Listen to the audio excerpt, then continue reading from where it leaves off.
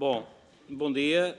Iríamos dar início à nossa uh, segunda parte das audições de hoje.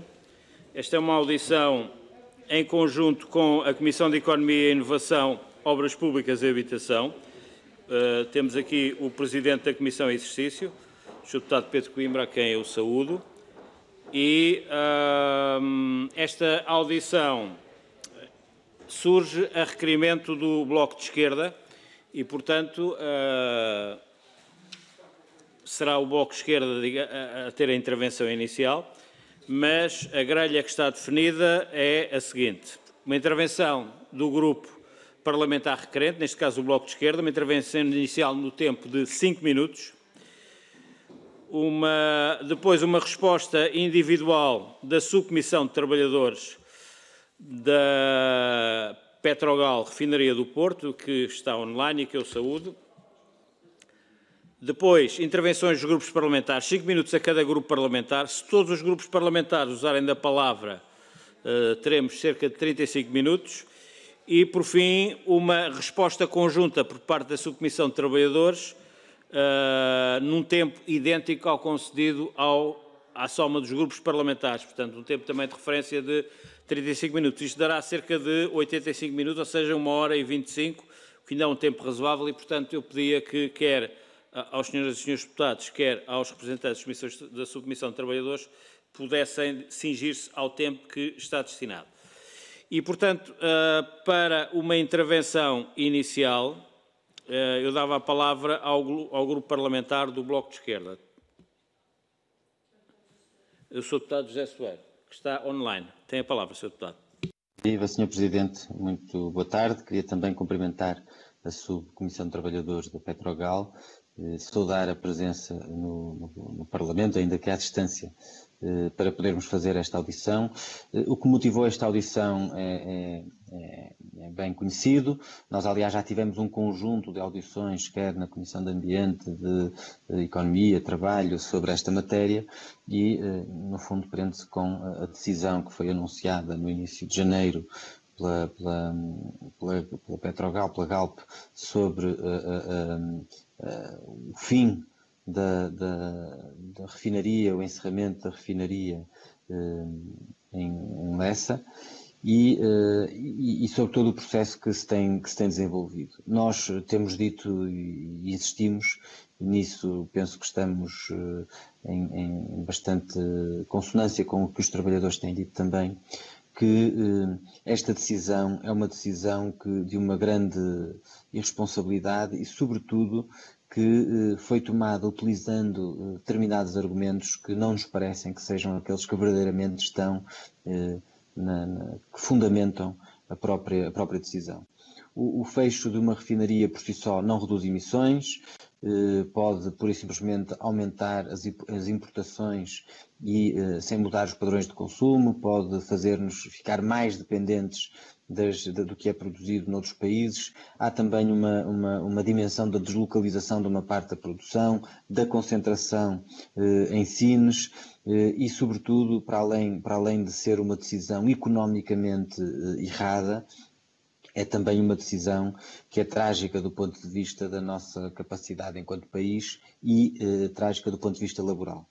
Eh, nisso não, não, não, não, acrescento, não acrescento muito. Nós estamos aqui, sobretudo, para ouvir, eh, ouvir a Subcomissão de Trabalhadores, ouvir os representantes dos trabalhadores, mas entendemos que o Governo aqui também eh, não, não tem, tem tido uma, uma atitude de grande conivência com o que está a acontecer e com esta, com esta estratégia do, do Conselho de Administração, que aliás foi completamente desrespeitoso para com, para com os trabalhadores, foi eh, no, no, modo autoritário como, como tem conduzido o processo ou como não tem conduzido o diálogo com os trabalhadores.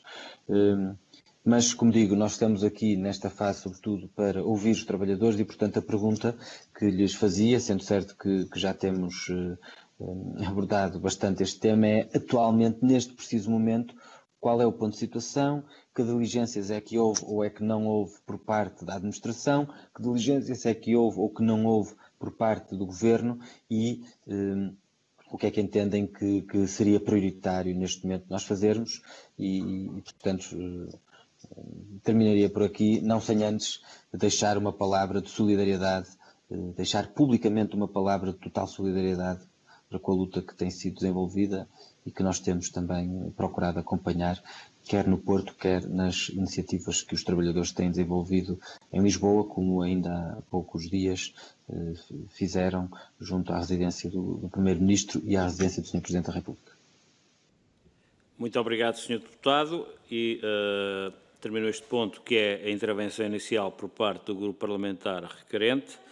Eu passava agora a palavra à Subcomissão de Trabalhadores para uma resposta individual, uh, barra intervenção inicial, no tempo de 10 minutos, e para isso temos online, segundo a indicação que eu aqui tenho, uh, Telmo Silva, coordenador da Subcomissão de Trabalhadores da Refinaria do Porto, e também Hélder Guerreiro, coordenador da Comissão Central de Trabalhadores de, de, da Petrogal. E, portanto, daria a palavra, não sei a quem, a, qual dos dois, mas a palavra é vossa. Dez minutos.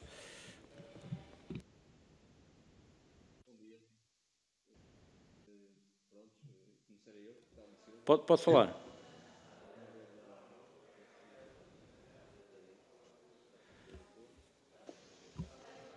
Senhor Presidente, acho que há aí uma, a imagem é do. Sim, parece haver. Nós temos a imagem, uh, mas eu não creio, não creio de, de, de Helder Guerreiro e, e Telmo Silva. Ah, agora, agora Pronto, sim. então. Uh, vamos pôr isto a zeros, peço desculpa. Uh, Caro Telmo Silva, tem a palavra 10 minutos.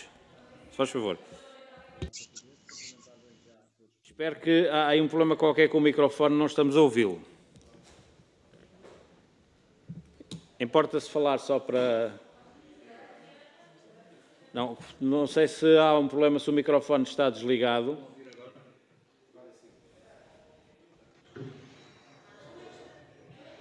Estão a ouvir agora? Está, está-me a ouvir? Sim, sim, eu estou a ouvir. Ah, agora estamos a ouvi-lo. Portanto, pode, pode começar. Obrigado.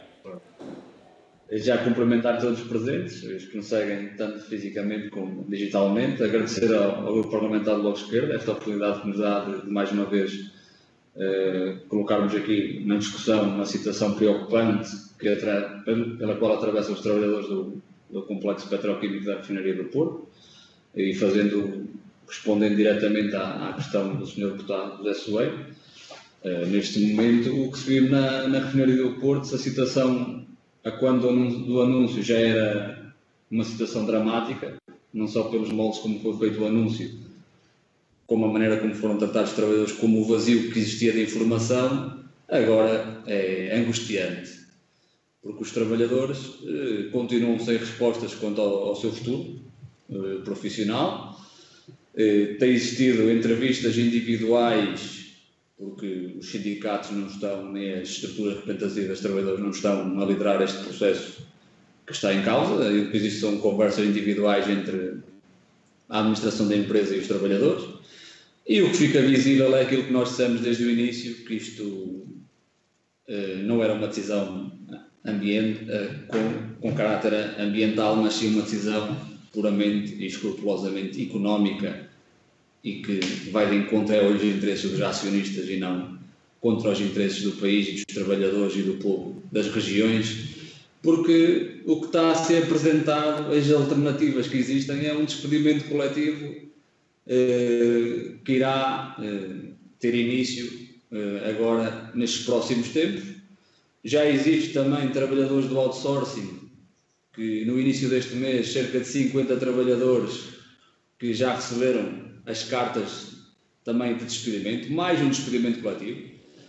Eh, por isto é sempre a somar despedimentos coletivos atrás de despedimento coletivo, não só dos trabalhadores da Petrogal, como de todos os trabalhadores que prestam serviço diariamente naquelas instalações. Por parte da administração mantém-se o silêncio. Não, até hoje não, não tivemos respostas às informações que solicitámos desde o início deste processo, que é a apresentação de um estudo por parte da empresa quanto às razões que levou a esta decisão, à viabilidade financeira da refinaria do Porto, que nós contestamos os números apresentados pela, pela administração, também até hoje não temos qualquer estudos relativamente a isso. Uh, a empresa continua uh, a demarcar-se totalmente deste processo e da prestação de, de, informação relativamente a isto, por muito, por muito que as estruturas façam existências relativamente a este processo. Quanto ao Governo, nós já no dia 2 de Fevereiro estivemos em frente à residência oficial do Sr. Primeiro-Ministro a protestar, uh, a levarmos a cabo uma ação de protesto, porque é incompreensível como é que o Estado português, sendo o segundo maior acionista da empresa, eh, podemos dizer que o problema está dentro da casa, mas ninguém quer saber, porque o Estado eh, demarca-se totalmente desta decisão, que é uma decisão preocupante para o país, a nível estratégico e de soberania.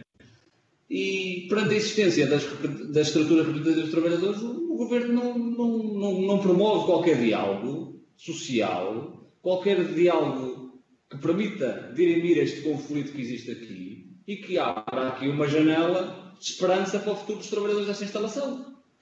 O governo está a assistir a, esta, a este espoliar de direitos, de, de, de postos de trabalho, destruição massiva de postos de trabalho nesta região e está a olhar para isto com uma passividade que é muito preocupante. Como é que o executivo do PS, até o momento, não tem uma intervenção nesta empresa em que é o segundo maior acionista e noutras em que nem é acionista, tem uma intervenção muito própria e muito ativa. E nesta esta situação, aos trabalhadores, eh, o que fica a transparecer é que existe aqui uma cumplicidade, não só pelo silenciamento, como pelas várias intervenções que vão sendo feitas a público por alguns ministros do Executivo do Governo do PS, que há aqui uma complicidade completa com esta decisão da administração. Uma decisão que, como estamos a ver hoje, que já dizíamos em janeiro, como estamos a ver hoje, a única conclusão que retiramos é que é a destruição total dos postos de trabalho. Os trabalhadores lançados ao Deus dará, ao abandono, o futuro, a transição que existe aqui, como nós costumamos dizer muitas vezes, é uma transição do trabalho justo, com direitos, para o desemprego. É esta a transição que há aqui. E mais uma vez, voltamos a dizer que a transição justa de justa não tem nada. Que não é socialmente sustentável e que vai deixar muita gente para trás. O que estamos a assistir no país é uma destruição energética e uma destruição social, laboral e económica. E isto tem que, requer, por parte do governo do PS e do PS, uma intervenção muito, muito, muito assertiva e uma intervenção muito forte neste flagelo que estamos a assistir aqui com o encerramento da refinaria do Porto. Tanto por parte do Governo, do Sr. Primeiro-Ministro António Costa e o Sr. Primeiro-Ministro têm feito uma coisa que é, que é no, mínimo, no mínimo questionável. Perante uma situação destas, perante a existência das organizações dos trabalhadores, o Sr. Primeiro-Ministro declina a situação para o Ministro do Ambiente. Esta situação que estamos a atravessar aqui não é uma situação estritamente ambiental. É uma situação estratégica para o país, económica, laboral e de soberania do país. Por isso não pode o Sr. Primeiro-Ministro continuar a fazer o que está a fazer. O que nós apelamos aqui, e mais uma vez dizemos aqui publicamente, é que o Sr. Primeiro-Ministro tem que intervir nesta destruição que está a ser levada a cabo quanto ao polo industrial da refinaria do Porto e preocupar-se em defender os postos de trabalho e os trabalhadores. Porque o que está aqui em causa é a destruição, é são milhares de famílias que vão ver as suas vidas destruídas com esta decisão que está a ser levada a cabo, que não, é, não vai de encontro à defesa dos interesses nem do povo, nem do país, nem dos trabalhadores. E dito isto, passo a palavra ao Helder Rei para ele também poder fazer algumas, inter, algumas intervenções quanto a esta situação e depois, se houver mais perguntas, responderei. Muito obrigado. Uh, e, portanto, passamos agora ao ponto destinado às intervenções dos grupos. Ah, peço imensa desculpa que eu estava distraído e não percebi. Se faz favor, faz favor. Bom, bom então, estão-me a ouvir? Bom dia, bom dia a todos. Uh, também dar aqui algum, fazer aqui algum contributo para esta, para esta audição que me parecem relevantes. Ora, o, o Telmo colocou e bem que não há, não há qualquer justificação válida para a decisão da administração de Estado do encerramento da refinaria do Porto. E esta é a grande questão. É que ninguém explica. Há uma decisão da administração, mas não há explicação nenhuma válida dos, dos motivos que levaram a esta decisão. O governo já, já vimos que se coloca de parte e diz que é, uma, que é uma decisão da administração, que é uma empresa privada. Mas isso não justifica nada. Não justifica nada. A administração, como nós também já colocámos, antes da decisão dizia que este caminho que está a traçar para a transição energética é errado e agora, no fundo, vem, uh, vem justificar e vem a, a aderir também a esta, esta dita transição energética acelerada que o governo está a patrocinar. Bom, mas parece-nos a nós que a, que, que a, razão do encerramento da refinaria do Porto tem mais a ver com o projeto H2S que o programa de sexta às nove, passado na RTP na última sexta, uh, colocou do que outra coisa. Era ali colocada, foram colocados vários indícios de favorecimento dos principais grupos a, a operar no setor energético nacional. Estamos a falar da EDP, estamos a falar da Galp. O e o favorecimento consistia, no fundo, em usufruir dos fundos ditos ilimitados para aquele projeto H2S, uh, H, H2 Sines, uh, a, inst a, instalar neste, naquele conselho.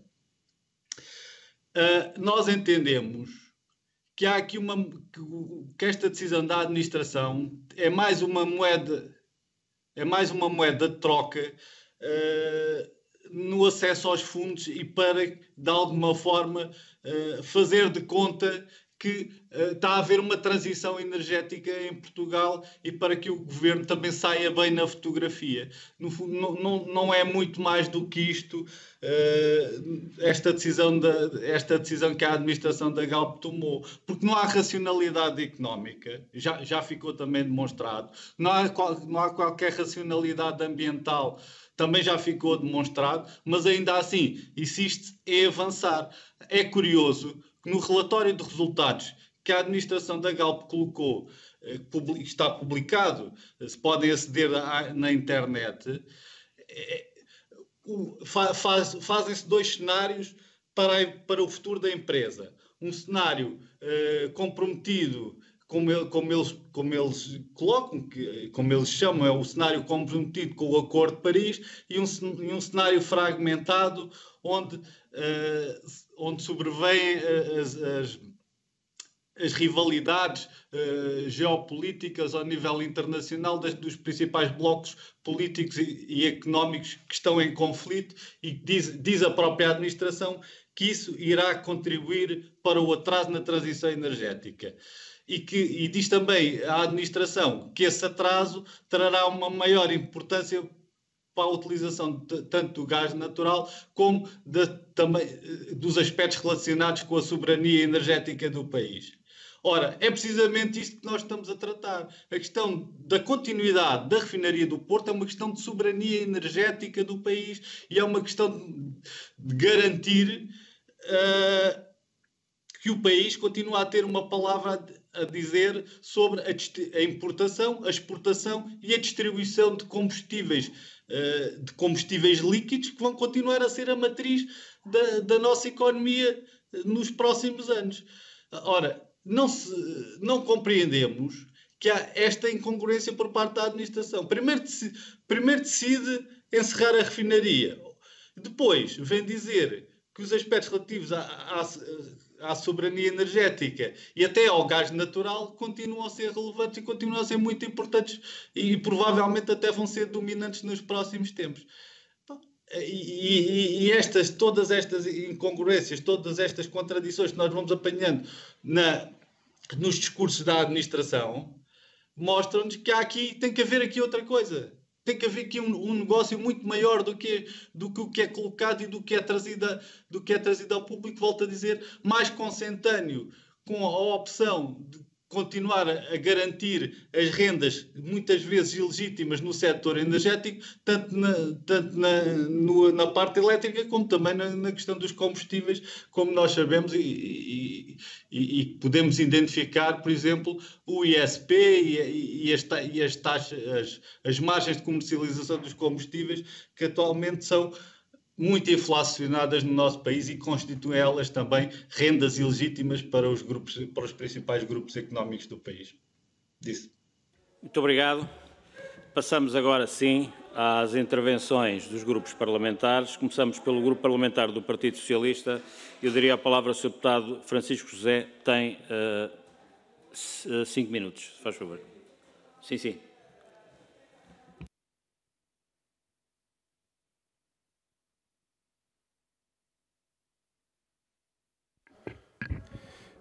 Sr. Presidente, Srs. Deputados, começar por cumprimentar a, a Subcomissão de Trabalhadores e na pessoa dos seus representantes, uh, todos os trabalhadores uh, envolvidos neste processo.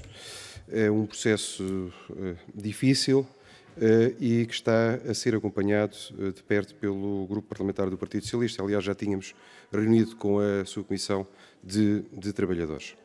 Eh, as decisões anunciadas pela Galp uh, respeitam a empresa cotada maioritariamente uh, privada, no atual setor energético em Portugal. As medidas que foram anunciadas inserem-se num processo de reestruturação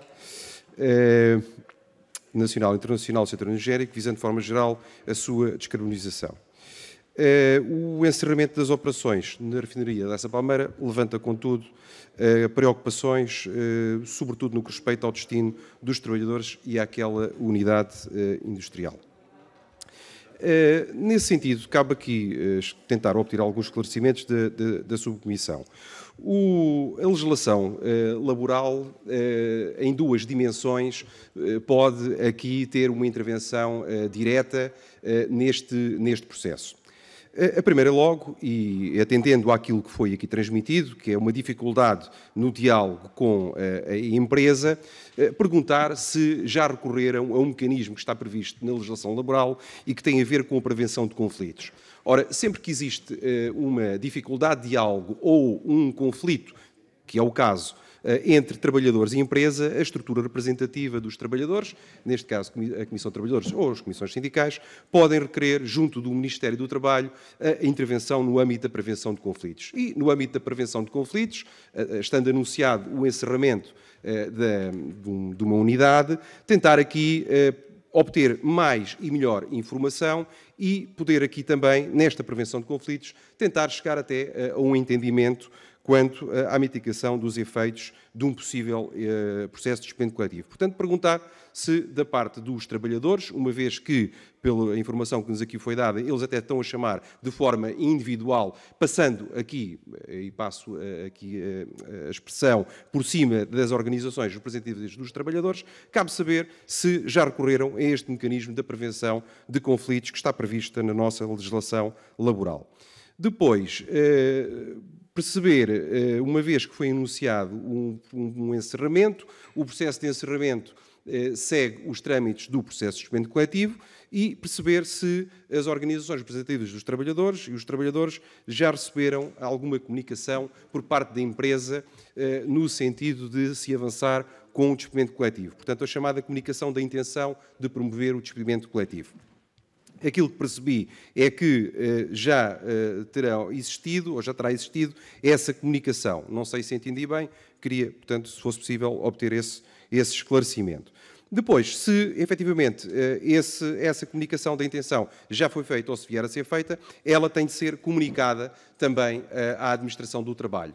Eh, neste caso, eh, a Administração do Trabalho eh, irá promover com a empresa e com as organizações representativas dos trabalhadores uma fase de informações e negociação, uma fase que é obrigatória e nessa fase também de informações e negociação, os trabalhadores, com o auxílio aqui do Ministério do Trabalho, poderão tentar encontrar na fase de negociação medidas alternativas ao processo de despedimento coletivo. Eh, portanto, saber se, eh, e termino a minha intervenção eh, reiterando essas perguntas, se no âmbito da prevenção de conflitos, processo que deve ser antes do, despedimento coletivo, se houve aqui esse pedido de intervenção por parte do Ministério e se relativamente ao despedimento coletivo, se já existe algum processo em curso, se uh, o Ministério uh, foi uh, notificado, se tem havido participação por parte da, da Direção-Geral do Emprego e Relações de Trabalho, Administração do Trabalho, até para evitar aqui esta falta de diálogo e este silêncio por parte da, da, da empresa. Muito obrigado, Sr. Deputado. Para uma intervenção, passo a palavra ao Grupo Parlamentar do PSD, Sr. Deputada Carla Barros.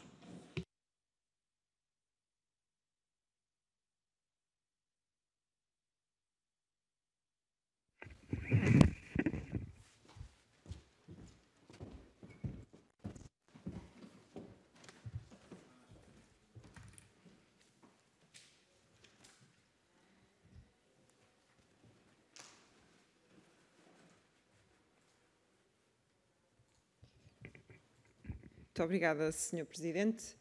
Senhoras e senhores deputados, cumprimento todos eh, das, de ambas as comissões parlamentares eh, aqui presentes eh, e saúdo de forma especial o Sr. Telmo Silva, como coordenador aqui da Subcomissão de Trabalhadores da Refinaria do Porto, e o Sr. Helder Guerreiro, coordenador da Comissão Central de Trabalhadores da Petrogal.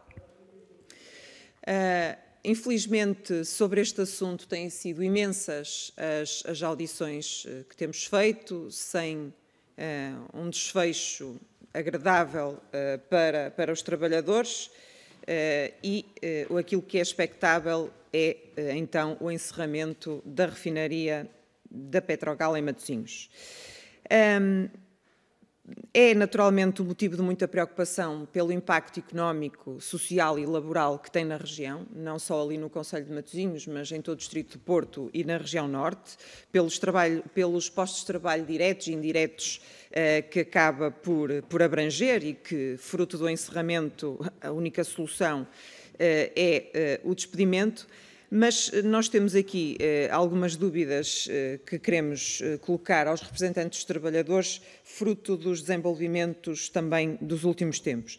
Nós, sobre, sobre a questão da, da propriedade da empresa, já sabemos que é uma empresa privada, mas não deixamos de considerar aqui uh, o acionista relevante que é uh, o Estado português. E se não fosse um acionista relevante, também, certamente, não se teria pronunciado pela via dos seus ministros, tantas vezes publicamente, e de todas as vezes que o Governo se pronunciou, nunca foi no sentido de esclarecer as dúvidas e as preocupações dos trabalhadores. E, portanto, o envolvimento acaba por haver do Governo, até porque nós não sabemos, os, os, aqui os representantes dos trabalhadores uh, afirmam que estamos aqui perante uma questão de soberania energética do país. Mas, senhores representantes, senhor Telmo Silva, senhor Guerreiro, não é esse o entendimento do Governo. Estamos perante realmente esta diferença de opiniões uh, e, que, e que naturalmente não ajuda nada também à resolução do conflito. Sobre o mérito ambiental, eh, vamos lá ver, eh, retirar uma atividade económica eh, de uma zona como é aquela onde está inserida a refinaria, nós não duvidamos também do mérito ambiental desta, desta decisão. No entanto, sabemos que há aqui uma, uma, uma, que deve haver aqui uma conjugação de fatores que permita que, no fundo, este mérito ambiental não venha a ser o causador de toda a destruição também laboral, económica e social na região. Valorizamos também e apelamos, temos apelado, a que o Governo se envolva e permita que haja um melhor diálogo uh, da administração também com os representantes dos trabalhadores, uh, e muito bem o apelo aqui do Sr. Deputado do Partido Socialista no sentido de que o Governo se envolva devidamente nesta resolução destes conflitos, porque se não houver um diálogo profícuo e saudável, ficam todos a perder. E, e nestas situações parece-me que o envolvimento e o diálogo é, como referi, o melhor caminho sobre uh, o Conselho Consultivo, que é sobre isto que eu quero falar. O Conselho Consultivo sobre a reconversão da refinaria. Uh, eu gostaria de saber uh, qual é a opinião dos senhores representantes dos trabalhadores, se têm, se têm estado presentes nestas reuniões. peço desculpa, o meu telemóvel, me esqueci.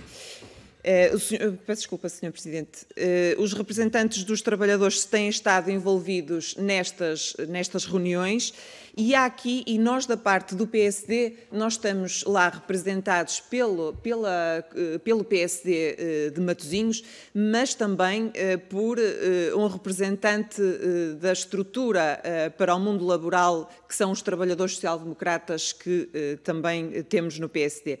E neste sentido foi-me dito que hum, este órgão, este grupo que foi criado, este Conselho Consultivo, uh, tem projetado muito as suas opiniões e as suas preocupações uh, sobre, afinal, que negócio ou que, ou que, ideia é que há para o espaço ali uh, onde está inserida a refinaria.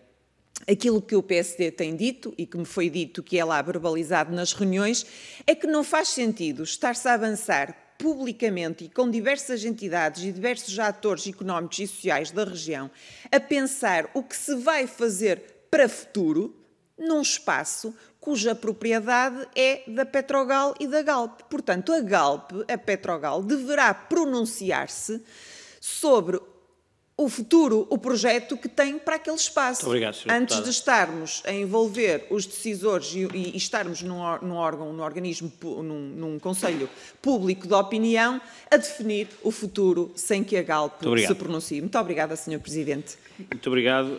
A palavra agora uh, ao Bloco de Esquerda, Sr. Deputado José Soeiro.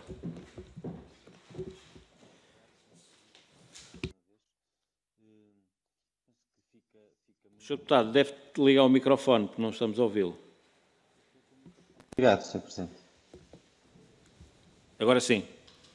Eu, eu, penso que já estava com o microfone ligado. Hum, fica clara. Uh, eu estou a ouvir o eco, Sr. Presidente. Uh, desculpa, pode Obrigado. continuar. Obrigado. Hum, fica clara a ausência de, de resposta, aliás, eh, inclusive as audições eh, que tinham sido, eh, no fundo, prometidas pelo próprio Governo não chegaram a realizar-se. Os trabalhadores não têm sido recebidos pelas autoridades, pelo Parlamento, sim, há que fazer essa ressalva, mas não pelo Governo.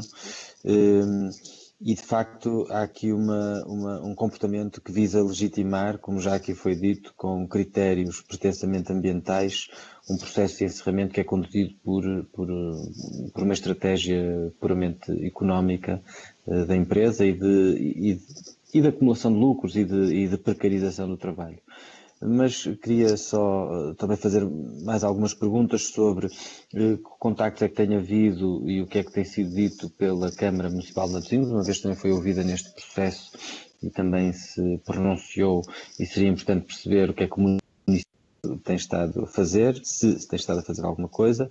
Eh, relativamente àquilo que foi proposto aos trabalhadores eh, por que razão é que a empresa não, não, não avançou, nomeadamente para alguns trabalhadores, com a possibilidade de manutenção da empresa, de, ou de transferências, ou de eh, passagem para outras funções. Penso que também tem sido dito que, que há aqui uma estratégia para eh, procurar despachar o máximo, até junho, se, bem percebi, dos trabalhadores e depois algumas funções que se manterão até 2023 poderem ser asseguradas por trabalhadores externos ou por trabalhadores em outsourcing, subcontratados e, portanto, mais precários, o que seria, eh, no meio de um processo que é todo ele, eh, eh, todo ele completamente questionável, no modo como está a ser conduzido, seria também um, mais um aspecto grave a somar a este, a este rol de, de de situações que, que merecem condenação. Hum, e, e, no fundo, também perceber se, hum, em termos do impacto indireto do encerramento da, da, refinaria, porque nós estamos a falar de algumas centenas de trabalhadores que trabalham na refinaria e que, a, quem, a quem foram propostas rescisões e que, e, e que provavelmente serão serão envolvidos no processo de, de, despedimento coletivo, ou é isso que se perspectiva no momento, eh, mas há depois todo, todo o impacto e, portanto, também a esse nível eh, era importante que eh, os custos dessa decisão fossem contabilizados tendo em conta esse impacto indireto em termos do, do, dos, da, da, economia local e dos, e dos postos de trabalho. E, e, portanto, no fundo, era, era isto que queria deixar aos, aos trabalhadores, dizendo que, pela nossa parte, também entendemos que o Governo, quer como acionista, quer como entidade que, que tutela, no fundo, também que tenha tutela do trabalho, da área do trabalho, que, que eh, não se compreende toda. Quer dizer, por um lado, por outro lado, compreende-se, de outra forma, compreende-se, mas não é aceitável e nós continuaremos a fazer pressão para que o Governo eh, intervenha nesta situação, eh, porque de facto o que tem acontecido é, é, é, que se tem colocado como uma espécie de, de subrepresentante dos interesses privados e não como, como representante do que deveria ser o interesse geral e que o Estado deveria representar. Muito obrigado, Sr. Deputado. A palavra agora, Partido Comunista Português, Sra. Deputada Diana Ferreira.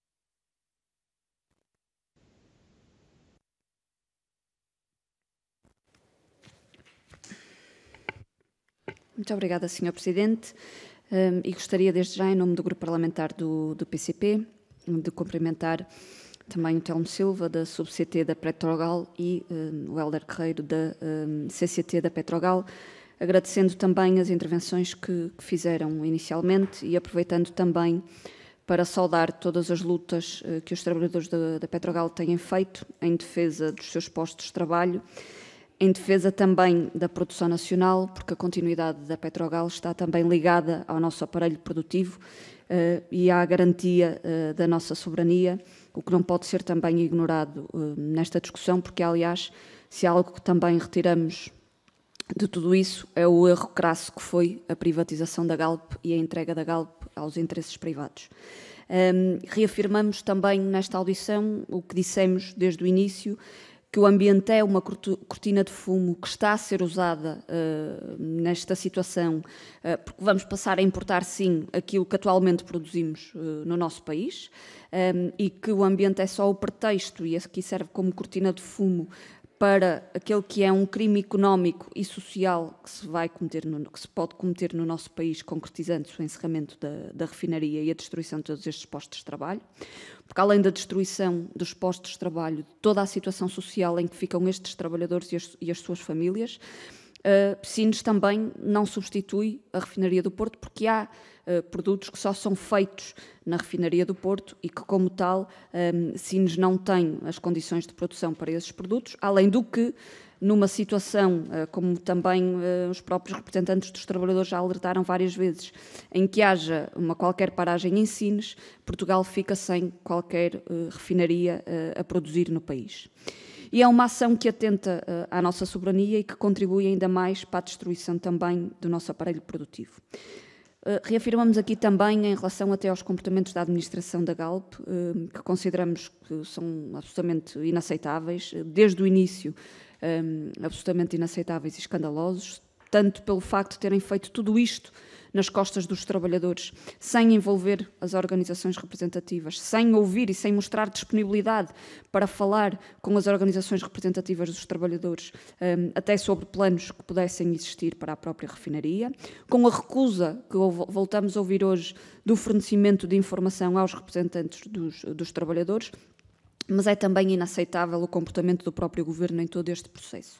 Na inação, eh, no ignorar de toda esta situação, eh, até eh, numa passividade e numa grande cumplicidade com aqueles que são os interesses privados de quem gera a Galp e que pretende, sim, e importa aqui reiterar isso, à custa da destruição de postos de trabalho, voltar a encher os bolsos com os dos milhões, como também já o fez com a distribuição de dividendos pelos acionistas. E é à custa da destruição dos postos de trabalho, do desemprego, do desbaste da economia local e regional, da perda de soberania e da destruição da produção nacional que o acionista privado da Galp vai embolsar milhões. E isto para o PCP é uh, absolutamente inaceitável e naturalmente que tem que ser combatido. Por isso, da parte do PCP, o que também fazemos uh, nesta audição é reafirmar o nosso compromisso para combater este crime económico e social um, que pretendem impor ao país, também uh, para estarmos solidários e presentes com todas as ações um, que os trabalhadores da Petrogal entendam em, em estar na defesa dos seus direitos e na defesa também dos postos de trabalho e na defesa da produção nacional. Um, e dizer naturalmente que da parte do PCP cá estaremos como estivemos desde sempre neste combate com os trabalhadores uh, da Petrogal, da refinaria do Porto, mas uh, também com todos os restantes trabalhadores, que cá estaremos para esse combate e que naturalmente podem contar com todos os instrumentos que temos também ao nosso dispor, mesmo na Assembleia da República, para continuar esta mesma intervenção, uh, querendo travar este crime económico e social que se quer, quer, impor ao país e aos trabalhadores. Muito obrigada. Muito obrigado. Para uma intervenção, temos online a Sra. Deputada Bebiana Cunha, do PAN, a quem eu dou a palavra. Obrigada, Sr. Presidente. Penso que me estarão a ouvir. Estamos a ouvi-la perfeitamente. Ok, ótimo. Eu cumprimento as senhoras e os senhores deputados, cumprimento a Subcomissão de Trabalhadores da Petrogal da Refinaria do Porto, eh, nas pessoas do senhor eh, Telmo Silva e do senhor Helder Guerreiro.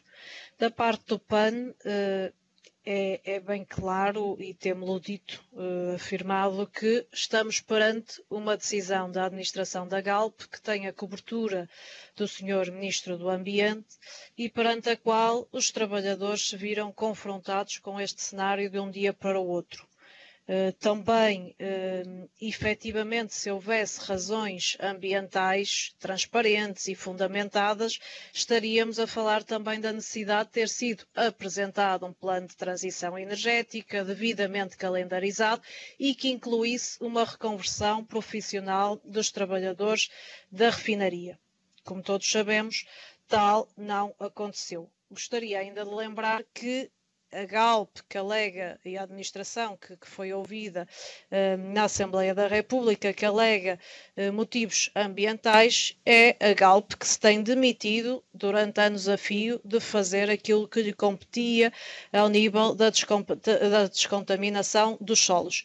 E uh, face àquilo que já expuseram na, na, vossa intervenção inicial, eu faria apenas dois pedidos muito concretos de esclarecimentos.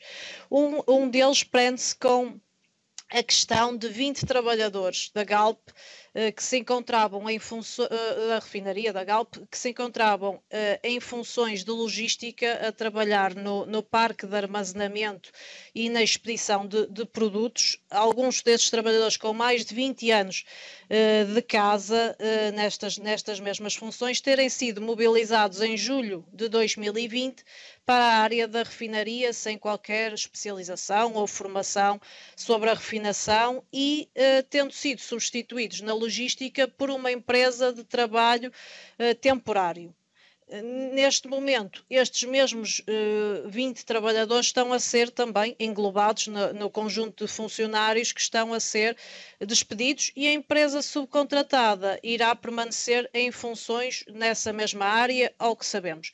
No entendimento do PAN, aquilo que concluímos é que a administração da Galp apenas trocou os trabalhadores do local de trabalho, até porque mantiveram as mesmas categorias profissionais, uh, na prática com funções completamente diferentes e para nós foi claramente uma manobra para conseguirem despedir os trabalhadores. Portanto, nós gostaríamos de saber como é que a subcomissão de trabalhadores interpreta este processo em particular e só obteve por parte da Galp alguma justificação para ter transferido estes trabalhadores para outro local uh, de trabalho, sendo que no local primitivo de trabalho colocaram uma empresa de outsourcing e, segundo a pergunta, gostaríamos também de saber se têm conhecimento de alguma intervenção do Governo nesta negociação entre a Galp e os trabalhadores. Muito obrigado. Muito obrigado, Sra. Deputada. com a sua intervenção, chegamos ao fim das intervenções dos grupos parlamentares. Uh, nós tínhamos um tempo de referência de 35 minutos, que corresponderia a seis intervenções, ou seis grupos parlamentares. Tivemos apenas cinco grupos parlamentares e, portanto, uh, dois, três, quatro, cinco, cinco, e corresponderia a sete grupos parlamentares. Tivemos a intervenção apenas cinco grupos parlamentares. O que dá um tempo de 25 minutos total e também que é o tempo de referência para a resposta. E, nesse sentido, para a resposta conjunta às questões levantadas pelos deputados intervenientes, eu passaria a palavra à Subcomissão de Trabalhadores, com um tempo total de 25 minutos e peço que giram da forma que entenderem, isto é, uh, podem, pode falar só uma pessoa, podem falar as duas, sem necessitar, obviamente, da minha intervenção, acho que facilita o, o trabalho a todos. Dou então a palavra à Subcomissão de Trabalhadores.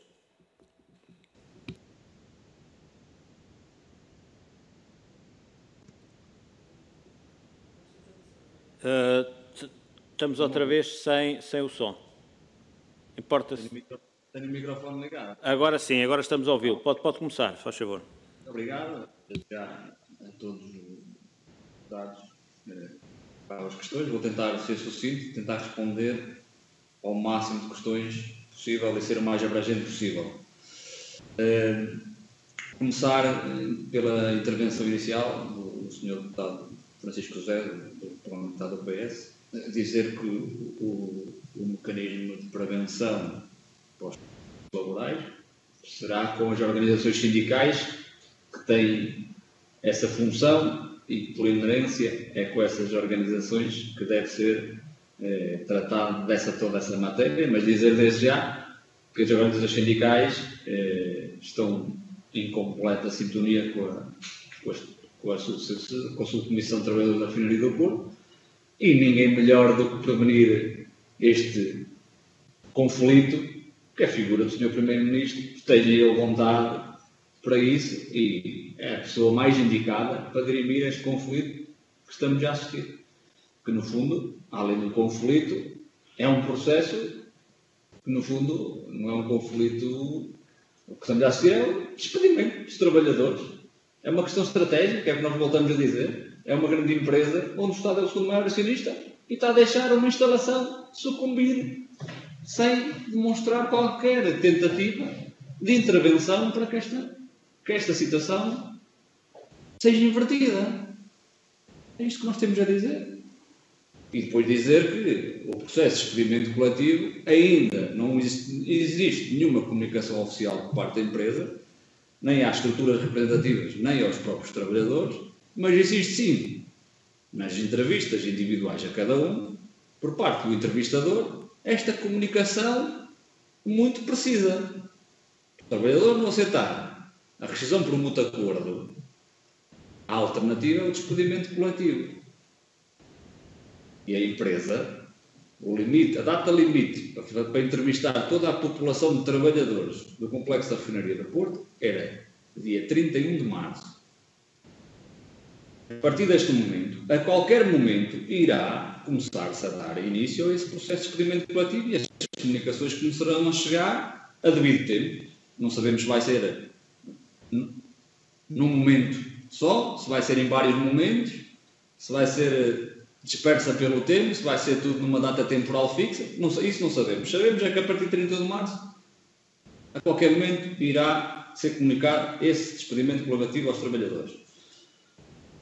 Uh, depois, uh, tentando responder aqui algumas situações colocadas pela senhora deputada Carla Lagos, do PSD, com quem já falámos algumas vezes, dizer que se for na defesa dos legítimos interesses dos trabalhadores da refinaria do Porto, da região e do complexo da refinaria do Porto, estaremos totalmente de acordo com o grupo parlamentar do PSD. Não podemos estar de acordo com algumas situações que a, que a doutora colocar na sua intervenção, dizendo que a única, perante a situação que estamos a ver, que a única solução é o despedimento. Não. Nós vamos continuar a dizer que há diversas soluções e nenhuma delas deve passar pelo despedimento dos trabalhadores. Porque isto tinha que ser uma situação que tinha que ser assegurada atempadamente pelas entidades governamentais e pela empresa antes de levar esta decisão a cabo. Esta, esta decisão devia ter sido ponderada, planificada, eh, estudada antes de ser anunciada. Não podemos continuar a ver como faz o Sr. Ministro do Ambiente, a demonstrar grande preocupação com os trabalhadores, mas só após, após o, anúncio, o anúncio da destruição do complexo. Não, o que tinha que ser feito era atrás. Ponderado, falado entre o governo e a empresa, de forma a ser uma tal transição justa, socialmente sustentável, ponderada e planificada, de forma a existir aqui gradualmente uma efetiva transição, não só energética, como dos postos de trabalho para outras energias, garantindo rendimentos e direitos. E não é isso que aconteceu. Por isso nós não, não aceitamos, e vamos continuar a dizê-lo, que a única alternativa é o despedimento. Não. Deve a empresa e o governo intervir nesta situação de forma a assegurar os postos de trabalho. Não é, não é conforme que está a acontecer. O que está a acontecer é que a política principal é despedir. Despedir. Despedir sem qualquer planeamento. É mandar os trabalhos para o despedimento e depois, estando lá no centro de emprego, cada um que siga a sua vida, que se desenrasque e que enfrente as dificuldades que vão enfrentar por eh, pronto, por uma questão muito individual e própria, sem qualquer apoio por parte das instituições e por parte do governo. Depois dizer, falou na questão do mérito ambiental. Também estamos em desacordo quanto a isso. O que há aqui não é mérito ambiental. Há aqui um grande mérito económico em trazer mais valias aos acionistas. Isso existe. Agora, méritos ambientais não, porque o que estamos a assistir, já dissemos isto mais que uma vez, é uma transferência de emissões. Não é uma diminuição. Pelo contrário. E atenção, convém aqui sublinhar que a refinaria do Porto, em termos de emissões nacionais, representa 1,7%. Uma margem tangencial. 1,7% no total de emissões do país anualmente. A refinaria do Porto, das, dos complexos petroquímicos mais bem preparados da Europa a nível ambiental, mais bem colocados por parte de grandes empresas internacionais que avaliam uh, as emissões das indústrias mais poluentes mundialmente. A refinaria do Porto está extremamente bem colocada, cumprindo todos os parâmetros ambientais exigidos a nível europeu. E depois dizer que os produtos que vão ser, deixar de ser refinados aqui, que a refinaria de Sines não tem capacidade, vão passar a ser importados, nós sabemos muito bem de onde na Ásia, no Médio Oriente. Então isso vai aumentar ainda mais o nível de emissões com o tráfego marítimo que vai provocar. O tráfego de, eh, de veículos pesados que irá incrementar. Isto é, isto é o mesmo que a alteração de parâmetros a nível da globalização que temos que alterar. Nós não podemos continuar a ter máscaras que podiam ser produzidas aqui, que agora já são, mas ao início não eram, a vir da China. Não podemos estar a, a, a como está este mercado internacional. Uma pessoa manda vir um relógio, em vez de comprar numa loja ou numa superfície à beira de casa, manda vir da China. Isto, isto não é bom para o ambiente, não é ambientalmente sustentável. Por isso, a nível ambientais, não há qualquer mérito nem ganhos. Quanto ao Conselho Consultivo da Câmara de Matosinhos, dizer que isso é uma iniciativa da Câmara de Matosinhos, só eles dizer respeito, nós não fomos convidados a fazer parte desse Conselho Consultivo, por isso não podemos dizer nem esclarecer o que é lá falado, porque o que é lá falado fica naquelas paredes e nós não temos qualquer intervenção nesse sentido. Relativamente ao Sr. Deputado o José Soeiro, do Bloco de Esquerda, dizer que, por parte da Câmara Municipal, até hoje, as intervenções públicas que a Presidente da Câmara vai tendo, que uma vez são na defesa do complexo, outras vezes eh, pronto, vai de acordo com a linha partidária do seu partido, que é quem está no, no governo e quem está a levar estas medidas a cabo, por muito que nós queiramos afastar-nos, vai ser sempre o executivo do PS que vai ser responsabilizado por esta destruição que vai ser eh, que está a ser levada a cabo aqui no nosso país e para, este, para esta catástrofe social e económica que a região vai ser afetada. Quanto à transferência de trabalhadores, dizer que foram feitas propostas de permanência e de transferência de trabalhadores, mobilidade, existiu, eh, no universo de 500 trabalhadores, existiu cerca de 21 a 22 propostas quanto à mobilidade de Sines, que dentro dessas 21 propostas não foram, não tiveram grande receptividade por parte dos trabalhadores, porque eram situações que não eram execuíveis, não eram passíveis de, de poder ser aceites porque era uma alteração gigantesca a nível familiar e económico que não era sustentável para os trabalhadores uh, irem nesse sentido. Quanto à permanência de trabalhadores, está a ser feitas propostas de permanência de trabalhadores, ainda não sabemos o número exato de permanência, agora já podemos aqui uh, prever que aqueles 70 continuam, como nós dizemos, a ser uma miragem. A ser uma miragem e a ser um número também para reduzir gradualmente após uh, a conversão para um parque logístico. Não tenhamos dúvidas disso, que vamos ver no futuro próximo que esses 70 é com tendência a diminuir.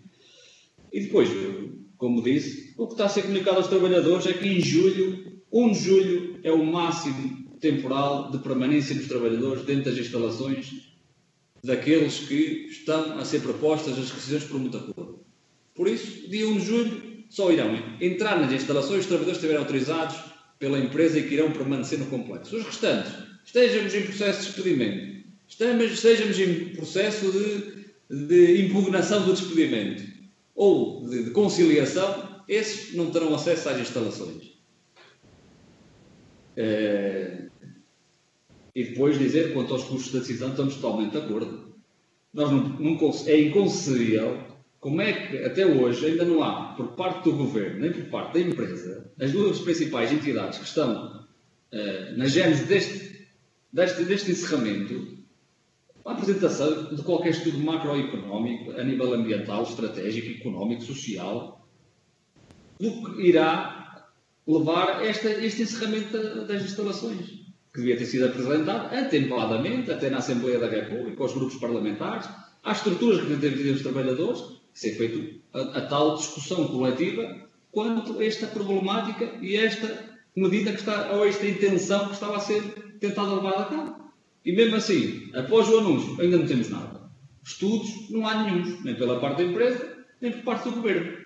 Continuamos a dizer que isto é um processo algo oculto e pouco transparente e faço as minhas, ou melhor, faço as palavras da Presidente da Câmara de Matosinhos minhas. Isto são palavras da Senhora Presidente da Câmara que diz ela própria que isto é um processo pouco transparente. E nós também aí estamos totalmente de acordo. Quanto à, à deputada do, do, do, do PCP, a senhora, a senhora Diana, dizer que estamos quase totalmente de acordo na, na, na, sua intervenção e desde já agradecer ao Bloco de Esquerda e, e ao PCP toda a sua solidariedade, toda a presença que tem demonstrado, toda, todo as medidas que têm levado a cabo para a luta dos trabalhadores da Petrogal estar no espaço público, estar em debate e o esforço que têm levado a cabo para defender este complexo industrial que é vital para a região e para o país e para a soberania do país, porque, conforme eu ouvi dizer, a soberania do país está posta em causa. Porque no dia em que os mercados fecharem, nós não vamos ter onde produzir, onde refinar petróleo bruto. Estas matérias que vamos, ter, vamos ficar dependentes de importação, no dia em que nos for negado, nós não vamos ter matéria-prima para as indústrias nacionais. E depois aí é que vamos ver se está ou não está em causa a soberania energética do país. Mas agradecer desde já as palavras da Sra. Deputada Diana Feio. Quanto à Sra. Deputada Viviana Cunha do PAN, agradecer também as intervenções do PAN eh, na defesa que tem sido Estamos, colaboramos totalmente nas mais variadas matérias e tem sido uma intervenção muito digna e muito forte na defesa do, do, do complexo industrial da refinaria do Porto e compreendemos as preocupações ambientais, mas mesmo assim o PAN está a ter uma excelente posição porque já viu que as medidas ambientais é de todo aqui um, um ramalhete para levar a cabo outras decisões que estão na gênese desta decisão. E estamos totalmente de acordo quando afirmou que o plano de transição energética deve ser planificado, ponderado, estruturado e gradual, não radical, que é o que estamos aqui a, a, a assistir. E quanto à situação dos 20 trabalhadores do, do Parque Logístico, que, é, o, que era uma, é uma instalação da refinaria do Porto, essa foi das primeiras coisas que nós colocámos logo à administração na reunião que tivemos. A reversão dessa decisão era essencial para poder alocar logo ali cerca de 20 a 25 trabalhadores. E como vemos, a administração negou perentoriamente a reversão dessa decisão, por isso ficando mais uma vez visível que a ideia da, da administração não é a reversão, mas sim a implementação cada vez mais, mais gradual do outsourcing. Do outsourcing. Podemos dizer que isto é de uma injustiça tremenda. Estes trabalhadores foram mobilizados cerca de seis meses antes do anúncio da decisão. E atenção, a quando dessa transferência destes trabalhadores, houve dois que foram despedidos. E, como vemos, a, a, a administração quanto a isso diz que não reverte a decisão, o que poderia alocar ali já há cerca de 20 trabalhadores. Por isso, e diminuir alguns, algum número de trabalhadores alocados a este despedimento coletivo, mas nisso está fechado, não há hipótese de inverter. Quanto à intervenção do governo na, negociação com os trabalhadores, tem, tem sido nula, é o que nós vimos aqui, continuamos a dizer, tem sido nula o governo do, do, do, Partido Socialista continua num silêncio sepulcral que dá, dá, todo, dá todo o ar de ser muito cúmplice desta decisão levada a cabo por parte da administração. Nós continuamos a não ser a não ser compreensível para nós trabalhadores como é que o principal executivo do, do país continua perante esta situação a não defender os interesses da região, do povo e dos trabalhadores e a colocar-se, como nós vemos, do lado desta decisão da administração, pouco, pouco escamoteada e com contornos que continuamos a dizer, criam aqui algumas dúvidas, algumas dúvidas, e não podemos aceitar que, que, se leve esta destruição sem ser criadas alternativas futuras e já implementadas para alocar estes trabalhadores. Até é é, é preocupante como é que estas decisões são levadas a cabo por parte do país, decisões que podem ser altamente lesivas para a economia nacional, uma economia de si já muito fragilizada, que vai ficar mais fragilizada porque a refinaria do Porto contribuía com 480 milhões anuais para as exportações do país, e nós agora, produtos que, estavam, produzir e vão ficar dependentes de ser importados, ou os valores que o mercado nos, nos, nos, nos imputar, e será sempre o consumidor final que vai pagar essa, esse, essa inflação. Isso não tenhamos dúvidas. A empresa vai assegurar os mercados, pelos mercados, mas vai ser sempre o consumidor final, como vemos na, como é na energia, que é o, o consumidor final é que paga a fatia de leão e esses é que vão ficar sempre a pagar esses desvaneios que são levados a cabo no país. E por isso nós eh, termino a minha intervenção dizendo que, que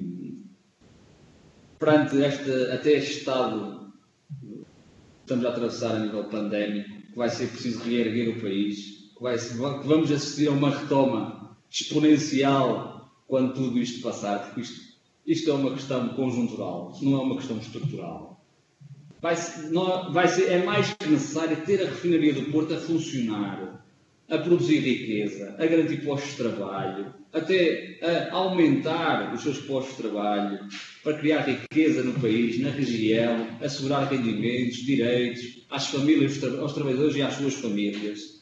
E dizer que o complexo petroquímico da refinaria do Porto tem lugar na transição energética, deve ser assegurada a sua continuidade e modernização, assim como os postos de trabalho existentes e a criação de novos postos de trabalho. E nós vamos continuar a debater pela defesa da refinaria do Porto, dos postos de trabalho e pelas famílias que vão ser afetadas por esse ano. Nós vamos continuar, enquanto houver estrada para andar, como alguém dizia, nós vamos continuar. Passo a palavra ao Helder Ribeiro.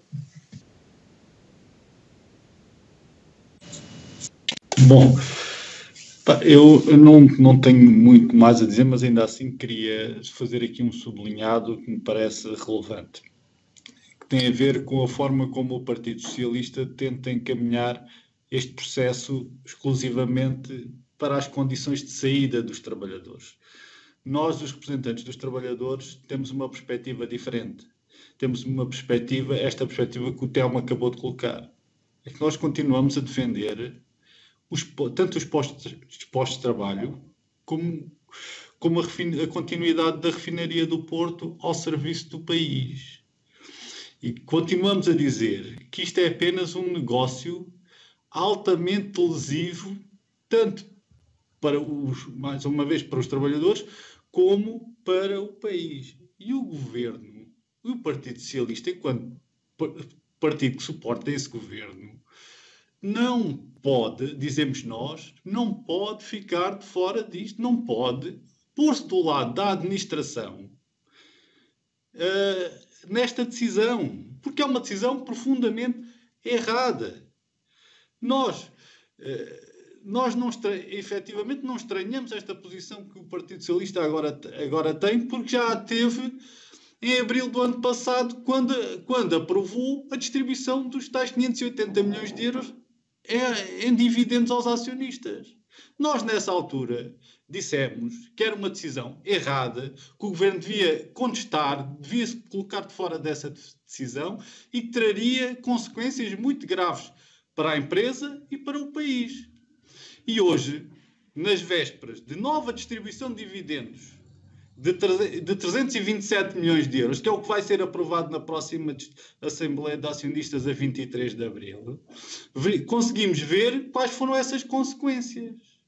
E conseguimos identificar que, que a distribuição desse, dessa, dessa batelada dos, de, em dividendos, dos 580 milhões de euros, foi inteiramente suportada em dívida, porque a dívida da empresa em 2020 aumentou mais de 600 milhões de euros. A empresa foi-se foi -se endividar para distribuir, distribuir dividendos aos acionistas. E agora, como disse, na próxima Assembleia Geral, a distribuição de acionistas vai ser uh, suportada na venda de ativos do gás natural, no, no, são no valor de 368 milhões de euros, a venda dos ativos, que cobre naturalmente a distribuição dos acioni aos acionistas. Mas no futuro, a empresa e o país não têm qualquer palavra a dizer sobre a distribuição do gás natural. Ora, isto é errado. O Estado, o governo, não pode continuar a acolher, a dar cobertura a esta política de destruição que está a ser implementada na, na própria na Galp. É, quando se coloca a questão da soberania energética, ora, a refinaria do Porto representa 25% do mercado nacional. Se nós abdicarmos de, desta questão de, de, se nós abdicarmos de 25% do mercado nacional em favor da Repsol ou em favor da Cepsa, ou em, ou em, favor de outras empresas que poderão abastecer diretamente o país a, a partir do terminal petrolífero de, de Matosinhos, isto não tem, não tem influências, não, não, não, é, não é soberania energética? Claro que é soberania energética.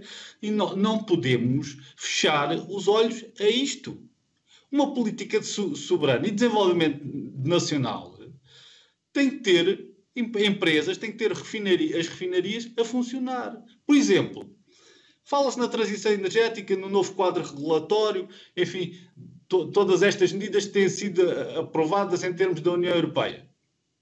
Mas a Repsol está a investir 1.400 milhões de euros numa, só numa refinaria em, em Tarragona, para, para, de alguma forma, preparar as refinarias para estes novos quadros regulatórios e para lhes garantir a sua continuidade. Porque reconhecem, como é óbvio, um papel, um papel muito importante dessas refinarias para, para a tal soberania energética, para, para o desenvolvimento do país, neste caso de Espanha. Mas Portugal não. Portugal, o governo português, ao contrário, opta por tentar maximizar os, os fundos que recebe da União Europeia, canalizando-os, mais uma vez, para os tais grupos económicos que já hoje dominam a economia nacional, destruindo postos de trabalho, destruindo tudo, tudo, tudo o que seja, apenas para favorecer aqueles grupos. Nada mais, nada mais interessa. Nada mais interessa ao governo se não proteger o, o grupo Amorim, o, o, a EDP, enfim, não, nada mais. É, é, o que fica demonstrado deste processo de, da decisão desse, desse encerramento da refinaria do Porto, que é profundamente errada. É profundamente errada. Por último, relativamente à questão colocada uh, pelo PAN, o que nós temos estado a assistir na Petrogal, na Galp, ao longo dos últimos anos, é um processo de esvaziamento à semelhança do que aconteceu agora do Parque da Boa Nova, como é colocado com aqueles 20 trabalhadores. está-se a substituir trabalhadores efetivos da Petrogal e da Galp por trabalhadores eventuais de outras empresas contratados a terceiros. Há uma terceirização geral de, todo, de toda a empresa, de, de todos os postos de trabalho existentes na empresa.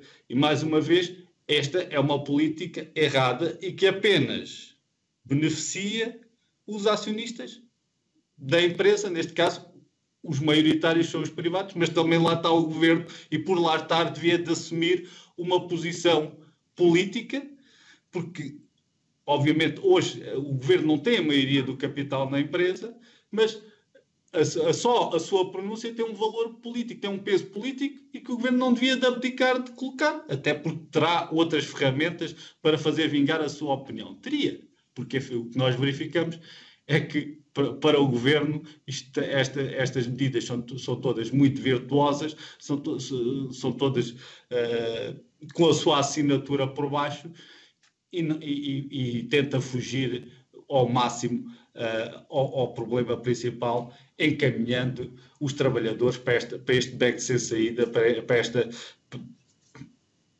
para, para esta solução que não é solução, não é solução para ninguém. Isso também já ficou aqui bem patente o que é que a empresa está a oferecer aos trabalhadores ou, ou como é que o está a encaminhar.